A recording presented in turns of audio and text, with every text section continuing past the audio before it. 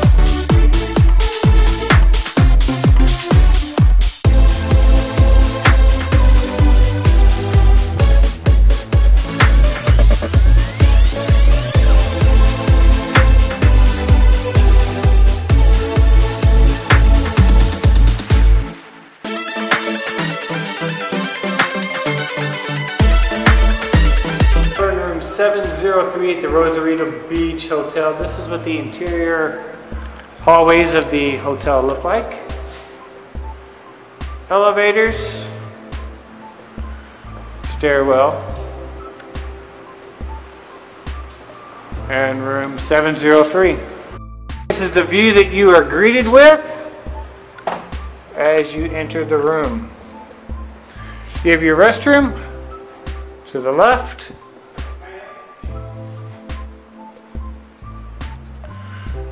Nice, spacious restroom.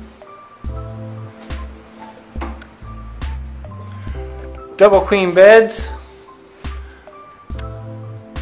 Tile floor. With a balcony. And nice flat screen TV and a desk.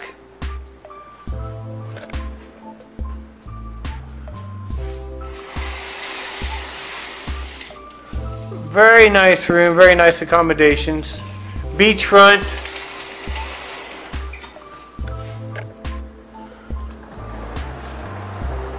Small balcony.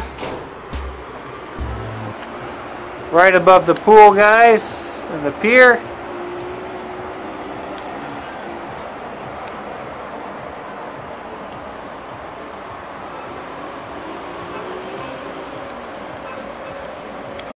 Guys, so we're exploring downtown Rosarita, Mexico.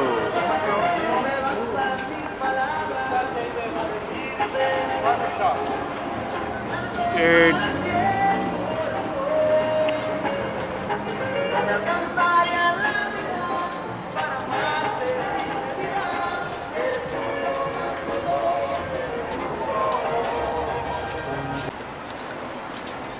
Then you have people behind you.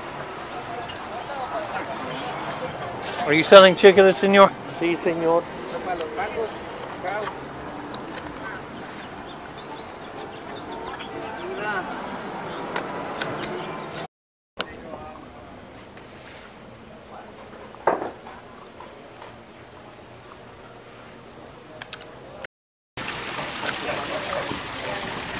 Where'd you order? Michelada for you. Ah, gracias, amigo. Gracias, film over there. Over there. Go, film.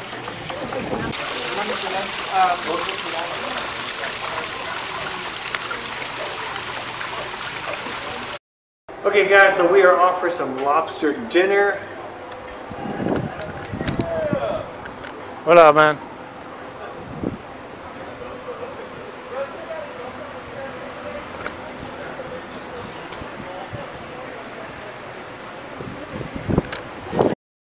You don't find hand handwork like you do in, in these countries. Um,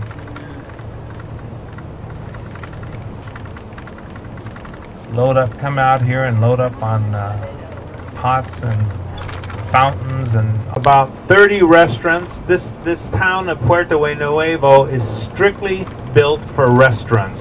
You don't want to be with the spring break partiers. This is for adults.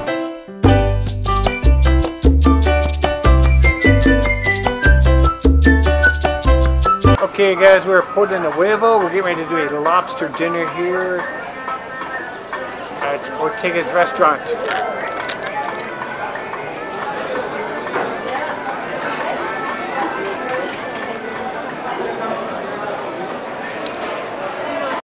Villa Ortega's, Puerto Nuevo in Rosarito, Mexico. Check out this restaurant. Awesome design.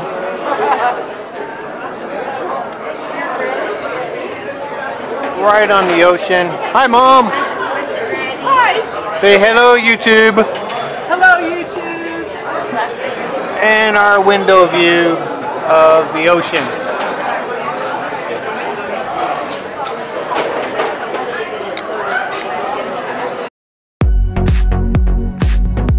How's your soup? Fantastic.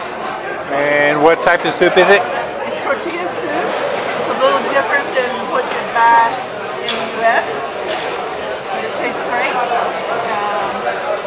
I love it.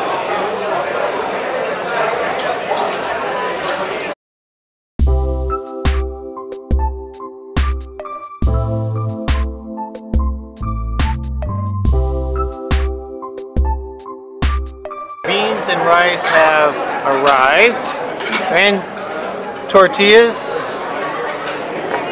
and we're waiting on our lobster and these margaritas are amazing.